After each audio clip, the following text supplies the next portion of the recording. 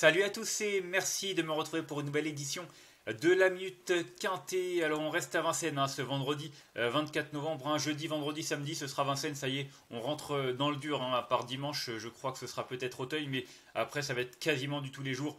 Euh, Vincennes, parfois un peu de Deauville et de Chantilly, mais en tout cas, on a ce vendredi une traditionnelle nocturne qui nous attend avec le Quintet Plus, le prix Ostara, qui se situe en troisième course de cette première réunion. Euh, un quintet au féminin, hein, des juments de 5 ans n'ayant pas gagné 135 000 euros euh, au départ. On n'a pas énormément de partants, vous le voyez, 13 concurrentes seulement euh, qui ont répondu présent. Parcours de vitesse, 2100 hein, mètres de la grande piste avec un départ donné à l'aide de l'autostart aux alentours, bien entendu, comme d'habitude, de 20h15. On va faire un petit tour sur les partantes. C'est pas une course très évidente à déchiffrer dans le sens où il y a deux concurrentes qui, à mon avis, semblent au-dessus du lot et constituent de très bonnes bases. Derrière, il y a des rentrantes, des juments un petit peu dans un état de forme assez euh, difficile à juger. Donc voilà, on va commencer par déjà les deux points d'appui. Le numéro 5 quittait de la vallée, deux courses dans les jambes, déféré des quatre pieds. On sait comment ça marche chez Mathieu Abrivard maintenant. Euh, quand il vise une course, en général, il se trompe rarement. Et puis cette équité de la vallée, non seulement elle a déjà bien fait sur ce parcours, mais en plus, en trois tentatives euh, des quatre pieds, elle est tout simplement invaincue. Donc c'est vrai qu'avant le coup c'est difficile d'aller contre sa candidature et vu euh, la qualité d'ensemble du lot, pour moi c'est une toute première chance. Ensuite, deuxième point d'appui, le numéro 6, Irina Datou, qui est en grande forme actuellement. Hein. Euh, regardez, elle vient de terminer deuxième de la course référence, le Primor de Bretagne, en début de mois. C'était euh, vraiment tout début de meeting, après quelques jours juste des festivités. Et non seulement sa forme est au beau fixe, d'ailleurs elle l'avait prouvé début octobre en s'imposant, mais en plus elle a déjà bien fait sur ce parcours. Euh, elle est déférée des quatre pieds, David Thomas. Là encore, son entraîneur est très confiant. Pour moi, euh, c'est la rivale principale de Iquité de la Vallée. Ça va certainement se jouer entre les deux. Pour moi, euh, c'est vrai qu'avant le coup, j'en vois aucune autre capable de leur tenir la haute. Donc voilà, deux points d'appui pour moi, 5 et 6. voilà, mes deux premiers choix. Derrière, c'est un peu plus difficile. J'ai retenu le 12, Ivanji Kadelou. Alors, Ivanji Kadelou vient de terminer 8 de la course référence. Hein. Regardez, derrière Irina Datou. Euh, maintenant, euh, c'était pas forcément son parcours de prédilection, sa tentative était loin d'être mauvaise, et c'est surtout une jument qui adore les parcours de vitesse. Et là, 2100 euh, mètres, c'est en plein dans son sport. Elle est plaquée des antérieurs, déférée des postérieurs. voilà, elle s'est lancée en seconde ligne, mais ça ne m'ennuie pas plus que ça parce qu'elles ne sont que 13 au départ. Et c'est vrai qu'avant le coup, son aptitude au tracé réduit peut lui permettre de monter sur le podium. Elles sont plusieurs à pouvoir y prétendre. En tout cas, moi j'ai retenu en troisième position ce numéro 12, Ivanji Kadelou. Ensuite, en quatrième position, j'ai retenu la Silomoine. Alors, euh, c'est vrai qu'elle n'a pas montré grand-chose hein, euh, depuis son retour en piste. Euh, je crois qu'elle a qu'une seule course dans les jambes. une ou deux. on va voir ça. tchouk tchouk, une, deux.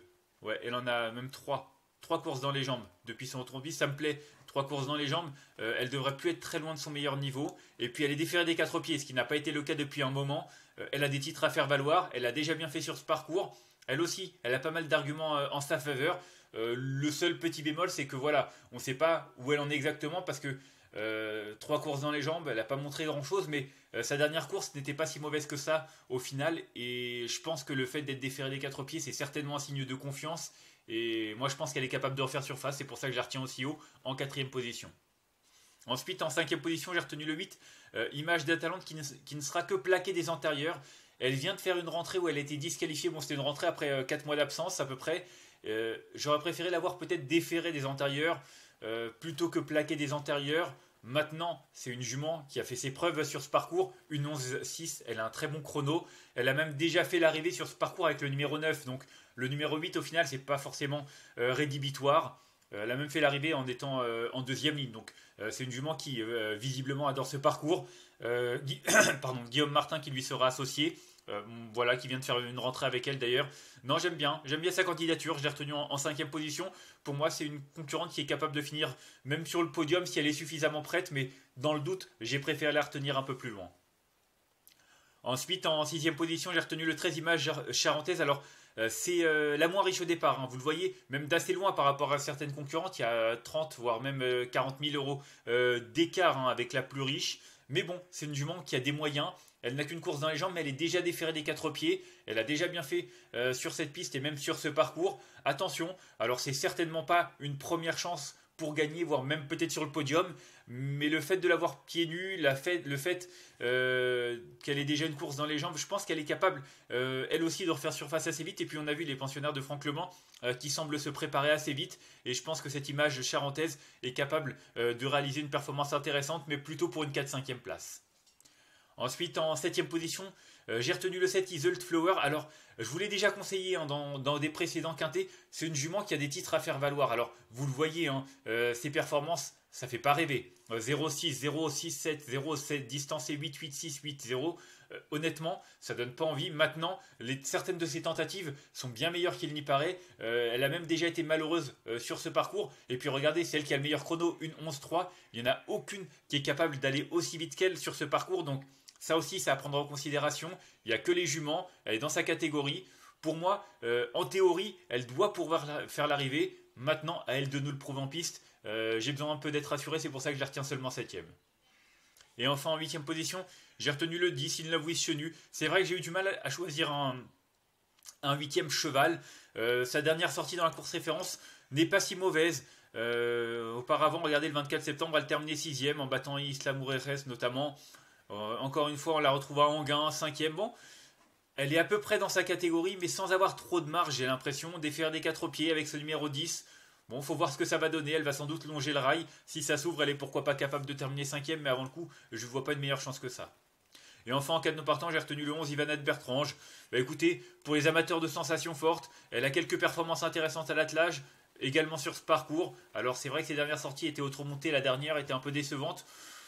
Mais je me dis que pourquoi pas. Elle est des quatre pieds. Euh, ça peut être amusant. C'est vrai que le 2 Iris Deschamps fait sa rentrée. Le 3 euh, prépare une course autre montée. Le 4 fait sa rentrée.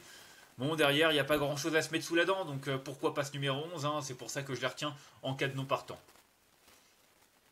On va faire un petit récapitulatif de ma sélection avec le numéro 5 Ikita de la Vallée que j'ai retenu devant le 6 Irina Datou, le numéro 12 Ivanji Kadelou, ensuite la Silomoine, le 8 Image d'Atalante en 5 position devant le numéro 13 Image Charentaise, en 7 position le numéro 7 Isolt Flower et enfin en 8 position le 10 In Love with Chenu. En cas de nous partant le 11, Ivana de Bertrange. En conseil de jeu, bah, vous l'aurez compris, 5 et 6, pour moi, c'est les deux très bonnes bases. Et puis le 12, Ivanji Kadelou, l'aptitude euh, au tracé réduit, je pense que c'est vraiment très important et ça peut lui permettre, pourquoi pas, de monter sur le podium. Donc voilà, 5, 6 et 12 euh, seront mes trois préférés dans cette compétition. Euh, ce vendredi, on va faire un petit tour du côté du Grand National du Trot, hein, remporté par euh, Emeraude de B, un très très belle course euh, de la pensionnaire de Benjamin Gus qui est déjà revenu en forme et qui s'annonce vraiment redoutable ce meeting d'hiver. Le 11, euh, Gaspard de Brion, qui court très très bien, même s'il perd un peu de temps au départ, il trace une belle fin de course pour prendre la deuxième place de Montrose du Goutier, qui s'est très bien défendu après avoir durci la course assez tôt. Le 5 Elliot KO qui court bien et qui, se remet, qui remet les pendules à l'heure. Et puis le 4 instrumentaliste qui se comporte honorablement pour son entrée dans ce circuit. Donc voilà, 14, 11, 9, 5 et 4. Du côté de rubriques, euh, Tour Sélection qui vous indique tierce écarté quinté, quelques trios de part et d'autre et quelques coups de cœur également comme vous le voyez. Vous pouvez tester nos deux rubriques, hein, c'est à partir de 1 euro par mois. C'est l'offre découverte, c'est le premier mois et c'est sans engagement. D'ailleurs, vous avez le lien dans le descriptif de cette vidéo pour y accéder, donc n'hésitez pas à y cliquer, tout comme vous avez le lien de notre formation exclusive avec plusieurs heures de vidéo, plusieurs modules pour vous aider à faire le papier de manière indépendante et un accompagnement personnalisé. Euh, je vous invite également à cliquer sur ce deuxième lien. Moi, en tout cas, euh, je vous remercie d'avoir suivi cette nouvelle édition de la Minute Quintée. Si vous avez aimé cette vidéo, n'hésitez pas à la liker, à la partager ou encore à vous abonner à notre chaîne YouTube en cochant la petite cloche. Vous pouvez également laisser votre pronostic en commentaire. Il y a un tirage au sort parmi tous les commentaires chaque mois avec à gagner 6 mois d'abonnement VIP au site turf-fr.com. Moi, je vous retrouve demain pour une nouvelle édition. Euh, d'ici là, je vous souhaite de bons jeux à tous. Bye bye.